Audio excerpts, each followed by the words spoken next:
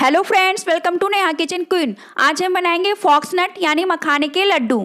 आप इसे किसी भी त्यौहार या फिर व्रत में बना सकते हैं। यह आपको इतना पसंद आएगा कि आप बिना व्रत का भी बनाना पसंद करेंगे। बहुत ही हेल्दी एंड टेस्टी लगता है खाने में तो चलिए बनाना स्टार्ट करते हैं। यहाँ पर मैंने लिया है पचास ग्राम मखाना, पचास ग्राम नारियल का बुरादा और डेढ़ ग्राम गुड़। ड्राई फ्रूट्स में मैंने यहाँ पे लिया है, तीन से चार छुआरे दस से बारह बादाम, बारह से पंद्रह काजू, पंद्रह से बीस किशमिश लिया है। ड्राई फ्रूट्स आप अपने अकॉर्डिंग कम या ज़्यादा कर सकते हैं। अब मैंने यहाँ पे लिया है एक पैन, इसमें मैं दो चम्मच घी ऐड कर रही हूँ और अब मैं मखाने रोस्ट करूँगी। फ्लेम को मैंने लो टू मीडियम रखा है, लो फ्लेम पे आप पाँच मिनट तक मखाने को अच्छी तरह से रोस्ट कीजिए जब तक कि ये क्रंची जैसा ना हो जाए। मखाने मेरे अच्छे से रोस्ट हो गए हैं, अब मैं इसे एक प्लेट में निकाल लेती हूँ। और ठंडा होने देती हूँ। इसी तरह हम ड्राई फ्रूट्स को भी इसी पैन में ड्राई रोस्ट कर लेंगे। इससे क्या होगा? ड्राई फ्रूट्स का मॉइस्चर यानी नमी चला जाएगा और क्रंच बना रहेगा।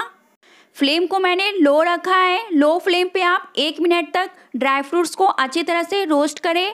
ड्राई फ्रूट्स मेरा अच्छे से रोस्ट हो गया है। अब मैं इसे एक प्लेट में निकाल लेती हूँ और इसे ठंडा होने देती हूँ। इसी तरह हम नारियल के बुरादे को भी दो से तीन मिनट लो फ्लेम पे ड्राई रोस्ट करेंगे। इससे क्या होगा? नारियल का कच्चापन चला जाएगा और लड्डू को एक सौंधापन मिलेगा। लड्डू का स्वाद बहुत बढ़ जाएगा। नारियल का बुरादा भी मेरा अच्छे से रोस्ट हो गया है। ये हल्का गोल्डन ब्राउन सा हो गया है। अब मैं इसे एक प्लेट में निकाल लेती हूँ और ठंडा होने देती हूँ। अब हम किशमिश रोस्ट करेंगे, पर किशमिश को हम थोड़ा घी में रोस्ट करेंगे, इससे किशमिश थोड़ा फुल फुल सा जाएगा। किशमिश को आप थर्टी सेकेंड तक लो फ्लेम पे रोस्ट करें। किशमिश में मेरा अच्छे से रोस्ट हो गया है। अब मैंने यहाँ पे लिया है मिक्सी जार। इसमें मैं रोस्ट किए हुए मखाने ऐड कर रही हूँ। ये थोड़े से मखाने को हम हाथ से इस तरह से तोड़ लेंगे। ये बहुत आसानी से, आराम से टूट जाएगा। इसे हम लड्डू बनाते वक्त इसी तरह ऐड करेंगे। इससे लड्डू में क्रंच आएगा और लड्डू का स्वाद बहुत बढ़ जाएगा। इसी तरह हम ड्राई फ्रूट्स को भी मिक्सी जार में ऐड करेंगे और थोड़े से ड्राई फ्रूट्स को मैंने बचा के रखा है, इसे हम लड्डू बनाते वक्त ऐड करेंगे। खाने और ड्राई फ्रूट्स को मैंने ग्राइंड कर लिया है। अब मैं इसके पाउडर को एक बॉल में निकाल रही हूँ। अब मैं रोस्ट किया हुआ नारियल का बुरादा ऐड कर रही हूँ। क्रश किया हुआ मखाना ऐड कर रही हूँ।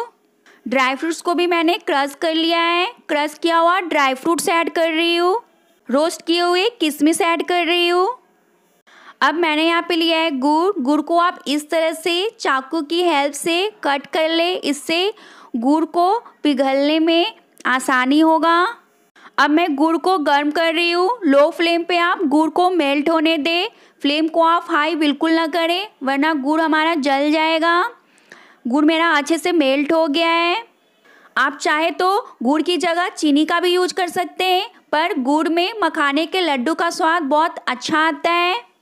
अब हम गरम गरम ही गुड़ को सारी सामग्री के ऊपर डालेंगे, क्योंकि ठंडा होने पे गुड़ जम जाएगा। अब आप कलची की हेल्प से इसे अच्छी तरह से मिक्स कर ले, क्योंकि गुड़ हमारा बहुत गर्म है। जब ये हल्का ठंडा हो जाए तो फिर आप हाथ से अच्छी तरह से मिक्स कर ले। मखाने में आयरन, कैल्शियम, पोटेशियम और फाइबर होता है, जो हमारे बालों के लिए, दिल के लिए और रीढ़ की हड्डी के लिए बहुत अच्छा होता है। आप देख रहे हैं, लड्डू मेरा ठीक से नहीं बन रहा है तो मैंने यहाँ पे लिया है एक चम्मच घी और आधी कटोरी रूम टेम्परेचर दूध। अगर आपकी लड्डू अभी भी नहीं बन रही है तो आप एक एक चम्मच दूध ऐड करके लड्डू को बाँध सकते हैं। मैंने यहाँ पे दो चम्मच दूध का यूज़ किया है और लड्डू मेरा बनने लगा है। तो आप भी एक बार ज़रूर ट्राई कीजिएगा। बहुत स्वादिष्ट एंड पौष्टिक लड्डू है। ये लड्डू 10 से 15 दिन तक ख़राब नहीं होता है, पर ये इतना टेस्टी होता है कि आपके घर में दो से तीन दिन में ये ख़त्म हो जाएगा। तो इस दिवाली आप ज़रूर ट्राई करें और मेरे साथ कमेंट शेयर करना बिल्कुल ना भूलिएगा कि आपको कैसा लगा। अगर आप एक लड्डू रोज़ खाते हैं तो आपको एनर्जी की कमी बिल्कुल महसूस नहीं होगी। बहुत अच्छा फील होगा आपको, बहुत अच्छा लगेगा। अगर आप बच्चों को देते हो तो उनके हेल्थ के लिए भी बहुत अच्छा रहेगा। तो आपको मेरी वीडियो अच्छी लगी तो मेरे वीडियो के नीचे लाइक कीजिएगा सब्सक्राइब कीजिएगा और शेयर कीजिएगा। तो आप भी बनाइए और इन्जॉय कीजिए ये टेस्टी लड्डू। मिलते हैं नेक्स्ट वीडियो में। Bye thank you